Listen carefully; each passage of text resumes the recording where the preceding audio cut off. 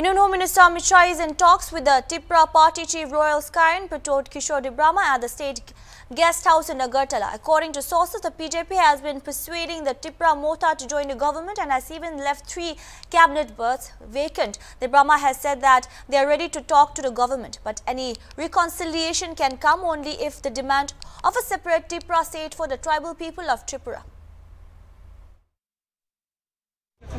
উৎসাহ আপনারা দেখতে পাচ্ছেন উৎসাহ তার সাথে রয়েছেন